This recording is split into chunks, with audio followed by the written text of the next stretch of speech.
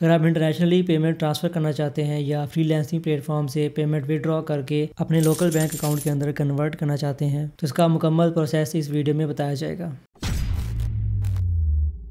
अल्लाम मेरा नाम बिलावल हसन है। पिछली वीडियो में हमने फाइवर के ऊपर ऑर्डर को डिलीवर करने के बारे में देखा था। आज हम पेनियर के ऊपर अकाउंट क्रिएट करने के बारे में देखेंगे। अगर आप 50 डॉलर का रिवॉर्ड लेना चाहते हैं तो आपने सिर्फ़ उसी लिंक से ही अपना अकाउंट क्रिएट करना है, जो आपको नीचे डिस्क्रिप्शन में दिया गया है। अगर आप डायरेक्ट पेनियर की वेबसाइट पर जाके अपना अकाउंट क्रिएट करेंगे तो आपको ये रिवॉर्ड नहीं मिलेगा। दूसरी कंडीशन ये है कि आपके अकाउंट के अंदर कम अज़ कम एक हज़ार डॉलर आने चाहिए फाइवर अपवर्क या अपने डायरेक्ट क्लाइंट से आप ये पेमेंट रिसीव कर सकते हैं। पेनियर के ज़रिए आप एक सौ नब्बे से ज़्यादा ममालिक के अंदर पेमेंट को सेंड या रिसीव कर सकते हैं। इस वेबसाइट पर क्लिक करके आप चेक कर सकते हैं कि आपके कंट्री के अंदर पेनियर काम कर रहा है या नहीं।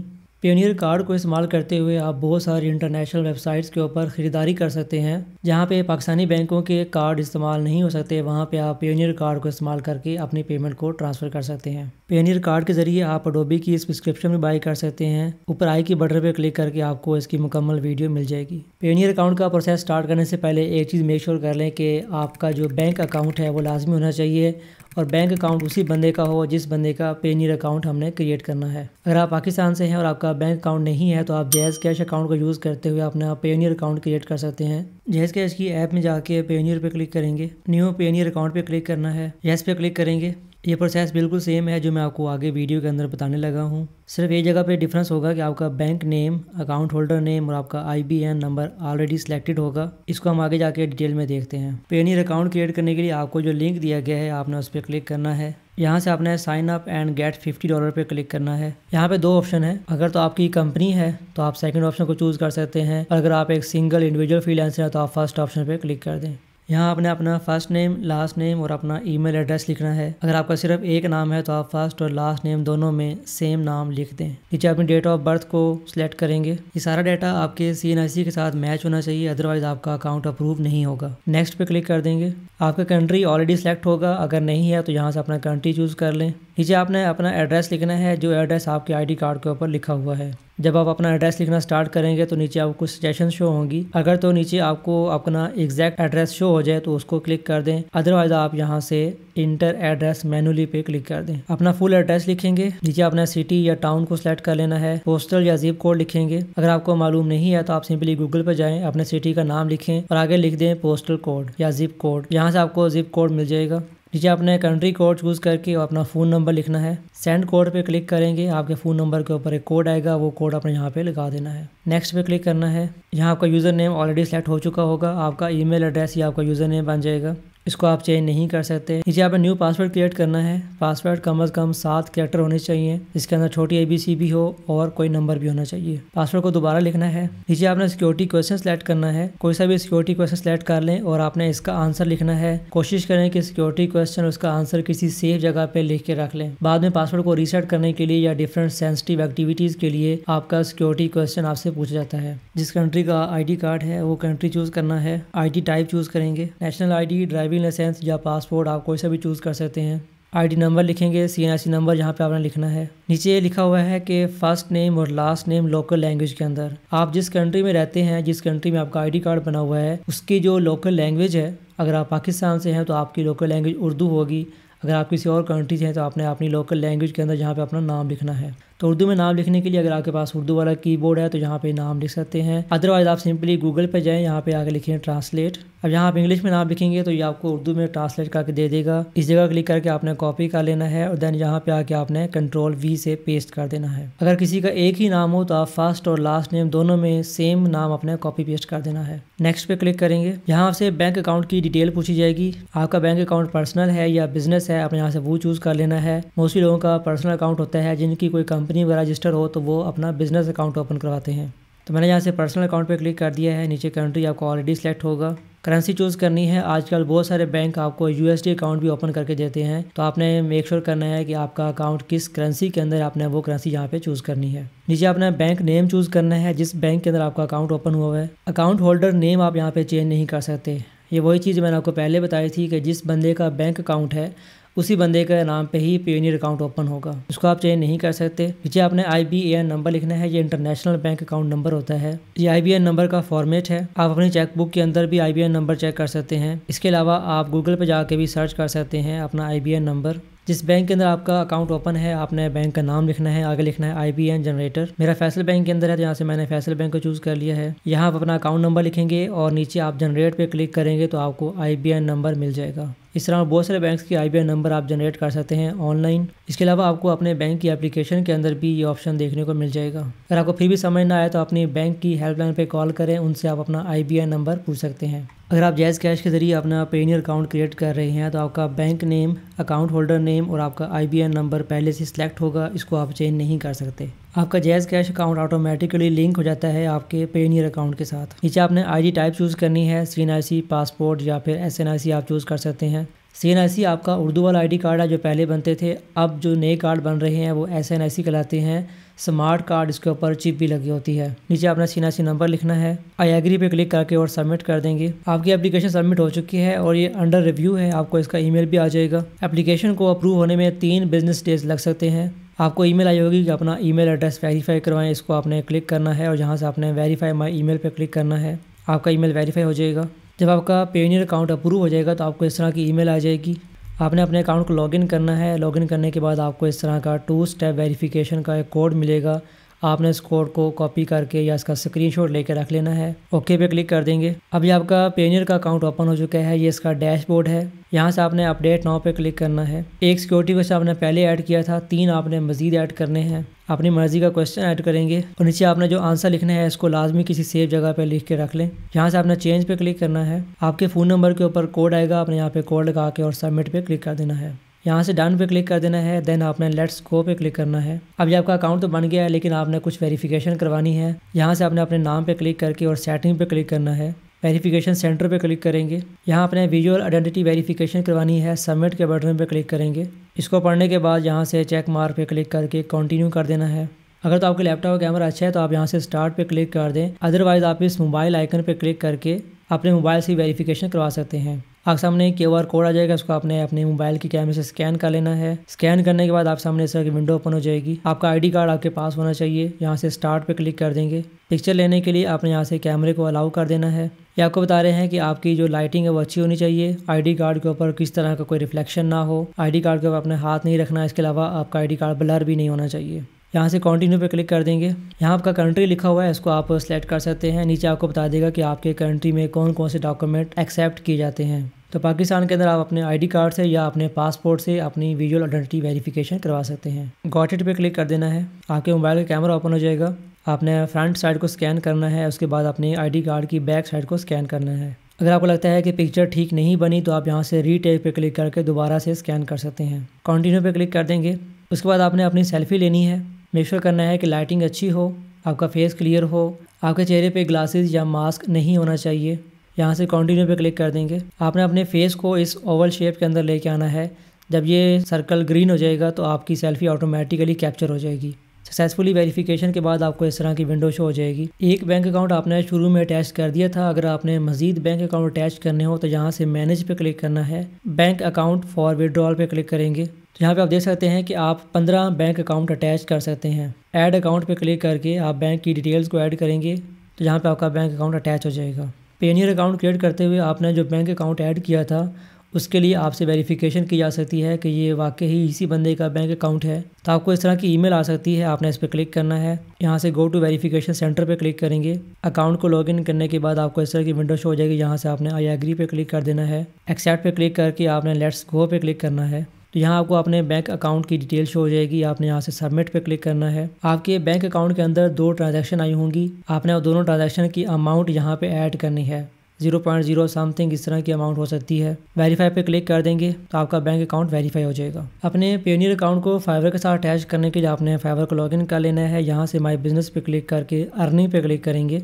ऐड पे आउट मैथड पे क्लिक करना है। यहाँ से आपने पेनियर अकाउंट को चूज़ कर लेना है। कंटिन्यू पे क्लिक करेंगे, आपके फ़ोन नंबर के ऊपर कोड आएगा। आपने वो कोड यहाँ पे लगा देना है। सबमिट पे क्लिक करके यहाँ से कंटिन्यू टू पेनियर पे क्लिक करेंगे। आप सामने पेनियर की साइन अप वाली विंडो ओपन हो जाएगी। आपने साइन अप नहीं करना। आपने पहले से अकाउंट क्रिएट कर लिया है। तो आपने क्लिक हेयर पे क्लिक करना है। अपने अकाउंट को लॉगिन करेंगे। तो ये आपका पेनियर अकाउंट आपके फाइवर के साथ अटैच हो चुका है। आपको इसकी एक ईमेल भी आ जाएगी। फाइवर से अपनी पेमेंट को विड्रॉ करने के लिए यहाँ से अपने माई बिज़नेस पे क्लिक करके अर्निंग पे क्लिक करना है। विड्रॉ बैलेंस पे क्लिक करेंगे। पेनियर अकाउंट ऑलरेडी सेलेक्ट होगा। यहाँ से आपने कन्फर्म एंड विड्रॉ पे क्लिक कर देना है। तो ये पेमेंट तीन बिज़नेस डेज़ के अंदर आपके पेनियर अकाउंट के अंदर ट्रांसफ़र हो जाएगी। पेनियर से इस पेमेंट को अपने लोकल बैंक अकाउंट के अंदर किस तरह से ट्रांसफ़र करना है, ये भी इसी वीडियो के अंदर बताया जाएगा। अपने पेनियर को अपवर के साथ अटैच करने के लिए यहाँ से आपने प्रोफ़ाइल आइकन पे क्लिक करना है। अकाउंट सेटिंग पे क्लिक करके यहाँ से गेट पेड पे क्लिक करेंगे। एड आ मैथड पे क्लिक करना है। अपवर के अंदर आप अपने डायरेक्ट पाकिस्तानी लोकल बैंक को भी अटैच कर सकते हैं। इसके अलावा अगर आप चाहें तो अपने पेनियर अकाउंट को भी अटैच कर सकते हैं।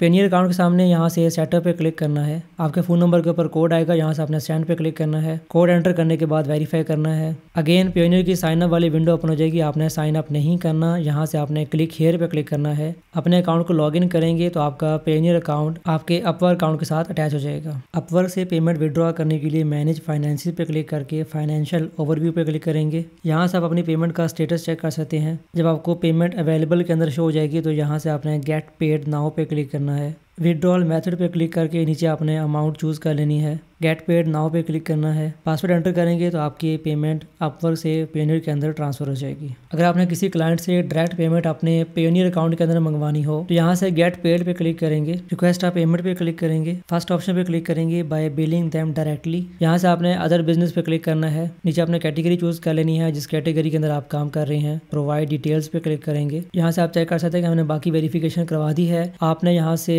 बिज़नेस प्रोफ़ाइल को सबमिट करना है सबमिट के बटन पर क्लिक करेंगे। यहाँ आपने अपने बिज़नेस के हवाले से बताना है, अपनी मेन कैटेगरी चूज़ करेंगे और नीचे सब कैटेगरी चूज़ करनी है। यहाँ आपने डोइंग बिज़नेस एज नेम लिखना है तो आपने अपना सी एन आई सी वाला नाम यहाँ पे दोबारा लिखना है। नीचे आपने बताना है कि आपका बिज़नेस किस तरह से ऑपरेट करता है। तो मैंने यहाँ पे लिख दिया है कि I am a freelancer at Fiverr and providing graphic design services आप लोग अपने हिसाब से यहाँ पे बता सकते हैं। नीचे आपने अपनी फ्रीलांसिंग प्रोफ़ाइल का लिंक ऐड करना है। अगर आपकी फ्रीलांसिंग प्रोफ़ाइल नहीं है तो आप लोग अपने फेसबुक पेज का लिंक यहाँ पे ऐड कर सकते हैं या अपनी वेबसाइट का या स्टोर का लिंक यहाँ पे ऐड कर सकते हैं। मैंने यहाँ पे अपनी फाइवर प्रोफ़ाइल का लिंक ऐड कर दिया है।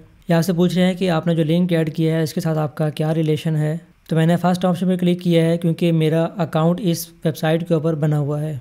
आपने अपने हिसाब से चूज़ करना है। अगर आपकी इसके अलावा कोई और वेबसाइट है तो यहाँ पे येस पे क्लिक करके अपनी वेबसाइट ऐड करेंगे। अदरवाइज़ आप नो पे क्लिक करके इसको सबमिट कर दें। जब ये अप्रूव हो जाएगा तो आपको इसकी ईमेल भी आ जाएगी। अब अपने यहाँ से रिक्वेस्ट आप पेमेंट पे क्लिक करना है। आपको इस तरह की विंडो शो हो जाएगी, जिसमें लिखा हुआ है कि आप अपने क्लाइंट से पेमेंट की रिक्वेस्ट कर सकते हैं। रिक्वेस्ट आप पेमेंट पे क्लिक करेंगे। ये जो हमने प्रोसेस किया है, ये आपको सिर्फ़ फ़र्स्ट टाइम ही करना पड़ेगा। उसके बाद आप जब भी रिक्वेस्ट आप पेमेंट पे क्लिक करेंगे तो इससे आगे आपको विंडो शो होगी। याद रखें, इस प्रोसेस के लिए क्लाइंट का पेनियर अकाउंट होना ज़रूरी नहीं है। वो किसी भी मेथड के ज़रिए आपको पे कर सकता है। अगर आप फ़र्स्ट टाइम पेमेंट मंगवा रहे हैं तो यहाँ से आपने ऐड आ न्यू पेयर पे क्लिक करना है। अगर आप किसी कंपनी से पेमेंट मंगवाना चाहते हैं तो आपने कंपनी पे क्लिक करके उसकी डिटेल यहाँ पे ऐड करनी है। अगर आपके क्लाइंट की कोई कंपनी नहीं है, वो एक इंडिविजुअल बंदा है तो आपने इंडिविजुअल पे क्लिक करके अपने क्लाइंट की डिटेल्स ऐड करनी है। First name last name client का ईमेल एड्रेस नीचे उसका कंट्री और देन आपने नेक्स्ट पे क्लिक करना है। यहाँ आपने पेमेंट की डिटेल्स ऐड करनी है, कितनी पेमेंट आप रिक्वेस्ट करना चाहते हैं करेंसी कौन सी होगी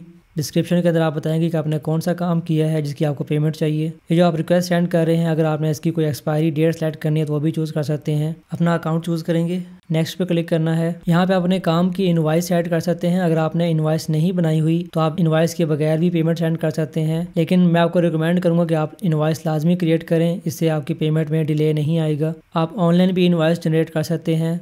यहाँ से आप क्रिएट आप प्रोफेशनल इन्वाइस पर क्लिक करें। अपना अकाउंट भी क्रिएट कर सकते हैं। इसके अलावा आप यहाँ से कंटिन्यू एज अ गेस्ट पे भी क्लिक कर सकते हैं। इन्वाइस की डिटेल्स ऐड करेंगे। इन्वाइस को आपने डाउनलोड कर लेना है और जहाँ पे लाके उसको अपलोड कर देना है। रिक्वेस्ट पेमेंट पर क्लिक करेंगे तो आपकी पेमेंट की रिक्वेस्ट सेंड हो जाएगी। यहाँ से आप पेमेंट रिक्वेस्ट सेंड पे क्लिक करके अपनी रिक्वेस्ट को ट्रैक कर सकते हैं कि आपके क्लाइंट ने आपको पेमेंट कर दी है या नहीं की। जब आपके पेनियर अकाउंट के अंदर पेमेंट आ जाएगी तो उसको लोकल बैंक में ट्रांसफ़र करने के लिए आपने उस करेंसी के ऊपर क्लिक करना है। यहाँ से विड्रॉ पे क्लिक करेंगे। आप इंस्टेंट विड्रॉ भी कर सकते हैं। अगर चाहें तो पेमेंट को शेड्यूल भी कर सकते हैं किसी और डेट के लिए। इसके अलावा आप ये भी सिलेक्ट कर सकते हैं कि जब एक्सचेंज रेट इतना हो जाएगा तो आपके पैसे ऑटोमेटिकली विड्रॉ हो जाए। मैंने फ़र्स्ट ऑप्शन पर क्लिक किया है विड्रॉ नाउ अपनी करेंसी चूज़ करेंगे। जिस बैंक में ट्रांसफ़र करना है, वो बैंक यहाँ से चूज़ कर लेंगे। नीचे आपने अमाउंट चूज़ करनी है। यहाँ पे अगर आप देखें तो लिखा हुआ है कि आप कम अज कम वन फिफ्टी ट्रांसफ़र कर सकते हैं। लेकिन मैं आपको थोड़ी देर में आगे चल के बताऊँगा कि आप किस तरह से अगर चाहें तो एक डॉलर भी विड्रॉ कर सकते हैं। जब आप यूएसडी के अंदर अपनी अमाउंट लिखेंगे तो आगे आपको पी के आर के अंदर ऑटोमेटिकली अमाउंट शो हो जाएगी और नीचे आपको कन्वर्जन रेट भी शो हो जाएगा। रिव्यू पे क्लिक करके आपने तमाम तर डिटेल को वेरीफाई कर लेना है देन आपने विड्रॉ पे क्लिक कर देना है। एक बिज़नेस डे में ये अमाउंट आपके बैंक अकाउंट के अंदर ट्रांसफ़र हो जाएगी।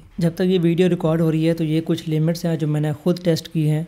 अगर आप अपने पेनियर अकाउंट को लिंक कर लेते हैं जैज़ कैश के साथ तो आप कम अज़ कम पाँच डॉलर विड्रॉ कर सकते हैं। फैसल बैंक से वन डॉलर मिज़ान बैंक से सिक्स डॉलर और एचबीएल से कम अज़ कम एक सौ एक डॉलर विड्रॉ कर सकते हैं। लेकिन याद रखें, ये जो लिमिट्स हैं, ये आपको इनकी ऐप्स के अंदर ही शो होंगी। अगर आप पेनर की वेबसाइट पर जाके ट्रांसफ़र करते हैं तो वहाँ पे जो कम अज़ कम लिमिट है, वो वन फिफ्टी की है। तो अगर आप वन डॉलर विड्रॉ करना चाहते हैं तो आपने अपने पेनियर अकाउंट को फैसल बैंक के साथ लिंक कर लेना है। फैसल बैंक की ऐप में जाके पेनियर पे क्लिक करेंगे और देन आपने वहाँ से विड्रॉ करना है। अगर आप घर बैठे फैसल बैंक का अकाउंट ओपन करना चाहते हैं तो ऊपर आई के बटन पर क्लिक करके आप इसका मुकम्मल प्रोसेस देख सकते हैं। मैक्सिमम लिमिट्स कंफर्म नहीं है, लेकिन इनकी वेबसाइट से जो मुझे डाटा मिला है, वो मैंने यहाँ पे लिख दिया है। अगर आपको किसी और करेंसी के अंदर पेमेंट चाहिए, या आपको किसी और कंट्री की बैंक अकाउंट की डिटेल्स चाहिए, जिसके अंदर आप पेमेंट मंगवा सकें तो यहाँ से मैनेज पे क्लिक करके रिसीविंग अकाउंट्स पे क्लिक करना है। गेट स्टार्टर पे क्लिक करना है। नेक्स्ट पे क्लिक करेंगे। यहाँ से आप चूज़ कर सकते हैं कि आपको किस किस कंट्री के बैंक अकाउंट की डिटेल्स चाहिए। इसका फ़ायदा ये होगा, फ़र्ज़ करें हम यूएसए की बात करते हैं तो आपका एक बैंक अकाउंट बन जाएगा यूएसए के अंदर और आपको उस बैंक अकाउंट की डिटेल मिल जाएगी। आप अपने क्लाइंट को अपने यूएसए के बैंक अकाउंट की डिटेल सेंड कर सकते हैं। यहाँ से आपने नेक्स्ट पे क्लिक करना है सबमिट रिक्वेस्ट पे क्लिक करेंगे। यहाँ से आपने रिसीविंग अकाउंट क्वेश्चन पर क्लिक करना है। या आपसे कोई डिटेल पूछेंगे कि आपको ये बैंक अकाउंट क्यों चाहिए। तो आपने इसको फिल करना है। पहला ऑप्शन है कि आप अपने पेनियर अकाउंट को किस तरह से यूज़ करेंगे। मैंने फ़र्स्ट टू ऑप्शन पर क्लिक कर दिया है। नीचे आपने अपनी कैटेगरी चूज़ करनी है कि आपका बिज़नेस कौन सा है। सब कैटेगरी सेलेक्ट करेंगे। या आपको कह रहे हैं कि अपने बिज़नेस को ब्रीफली डिस्क्राइब करें। तो मैंने यहाँ पे अगेन वही चीज़ लिख दिया है कि मैं फ्री हूँ फाइवर के ऊपर मैं अपनी ग्राफिक डिज़ाइन सर्विसेज़ अपने क्लाइंट्स को प्रोवाइड कर रहा हूँ। नीचे आप अपने फ्रीलांसिंग प्लेटफॉर्म का लिंक यहाँ पे ऐड कर सकते हैं। इसके अलावा अपने स्टोर का लिंक या अपने फेसबुक पेज का लिंक यहाँ पे ऐड कर सकते हैं। यहाँ से पूछ रहे हैं अगेन कि आपने जो लिंक ऐड किया है उसके साथ आपका क्या रिलेशन है? तो मैंने यहाँ पे फाइवर की वेबसाइट ऐड की है तो मैंने बता दिया कि मैं इस प्लेटफॉर्म के अंदर अपने पेज को मैनेज करता हूँ। यानी कि मेरा इस वेबसाइट के अंदर एक अकाउंट बना हुआ है।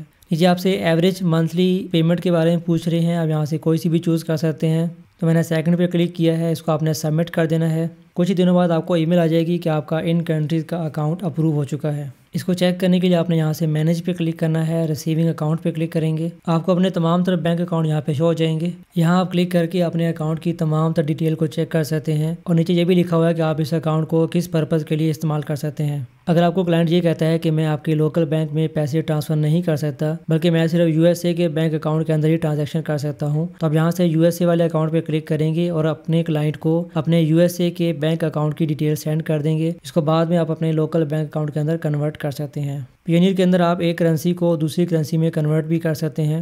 अगर आपने इंटरनेशनली किसी वेबसाइट से कोई चीज़ बाय करनी हो या किसी दूसरे कंट्री में जाके वहाँ की एटीएम मशीन से आपने पैसे निकालने हो तो आप पेनियर कार्ड को ऑर्डर कर सकते हैं। कार्ड को ऑर्डर करने के लिए आपने कम अज़ कम सौ डॉलर की ट्रांजैक्शन करनी है। तभी आप इसको ऑर्डर कर सकते हैं। यहाँ से आपने पेनियर कार्ड्स पे क्लिक करना है। ऑर्डर कार्ड पे क्लिक करेंगे। अगर आपने सिर्फ़ ऑनलाइन पेमेंट्स करनी है तो आप वर्चुअल कार्ड पे क्लिक कर सकते हैं। आपको यहाँ पे कार्ड की डिटेल्स मिल जाएगी। अगर आपको फ़िज़िकल कार्ड चाहिए, जिसके ज़रिए आप एटीएम से पैसे निकलवा सकें और ऑनलाइन ट्रांजेक्शन भी कर सके तो आप यहाँ से फ़िज़िकल कार्ड पे क्लिक कर सकते हैं। नेक्स्ट पे क्लिक करेंगे। यहाँ से अपनी करेंसी चूज़ करेंगे, जिस करेंसी के अंदर आपको कार्ड चाहिए। अगेन नेक्स्ट पे क्लिक कर दें। ये अपना शिपिंग एड्रेस चूज़ करना है, जहाँ पे आप रहते हैं, जिस जगह पे आपको कार्ड चाहिए। नेक्स्ट पे क्लिक करेंगे। शिपिंग मेथड चूज़ करेंगे और देन यहाँ से आपने ऑर्डर कार्ड पे क्लिक कर देना है। अगर आपको पेनियर अकाउंट के वाले से कोई भी मसला हो तो आप इनकी सपोर्ट से कॉन्टैक्ट कर सकते हैं। ये था मुकम्मल प्रोसेस पेनियर अकाउंट को क्रिएट करने का।